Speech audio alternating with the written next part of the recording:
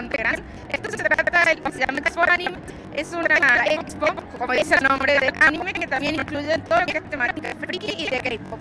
Durante este viernes y mañana sábado vamos a poder disfrutar de shows de K-pop, de cosplay, de competencia de cosplay, competencia de, K-pop, en sorteos, también de todos los emprendimientos frikis que van a estar y también de las colecciones de San Juan Collection, de los juegos de mesa y mucho más que tenemos acá en el contenido.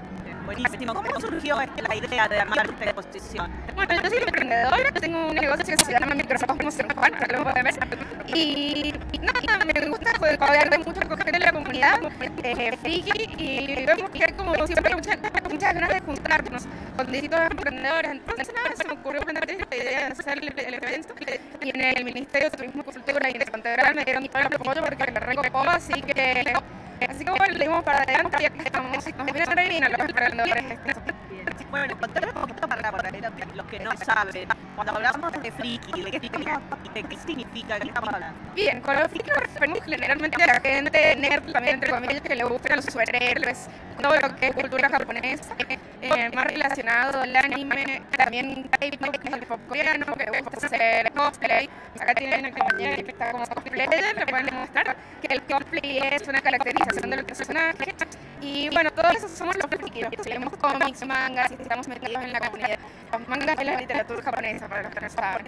Así que todo este y en San Juan ustedes ven que esto va creciendo cada vez más, porque la verdad que todo lo que me nombraste, yo para mí cada vez me va haciendo más común, digamos, antes era sorprendida, pero ahora es como ya parte de, la cultura urbana. Sí, totalmente, justamente por eso nos dan bola en el Ministerio de Contra, porque formamos parte de la cultura todos, y esto es algo que está en auge cada vez más porque antes, como decís, no era tan conocido y inclusive, e inclusive se les hacía bullying a las personas que, que, que nominaban otra cosa. Ahora es lo normal, un niño, un adolescente seguiría viendo Naruto, que es lo más común, y después le gusta ver todo esto, los abusos, le gusta comprarse cosas y escuchar la música de anime, que es lo normal, pasa cada vez va creciendo más. Y los padres se van interiorizando con lo que ven niños, obviamente. Ah, bueno, eso, ¿no? Que los papás se interioricen porque por ahí se sorprende o, o prejuicio por no saber, ¿no? Sí, pero a los padres y madres les parece un poco raro, me dicen esas cosas raras que mi hijo. Bueno, no son nada, cosas raras, es como no hay ninguna secta detrás de esto, o sea, somos gente normal viendo anime, o sea, que es una serie japonesa, es lo mismo, pero en Japón.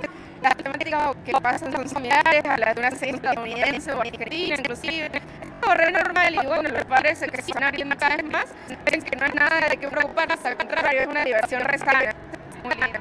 Bueno, Guadalupe, y por la repercusión, por decir que habrá una Expo Anime 2. Obviamente, sí, y comprometo que al pueblo del Conde que haya una Expo 2.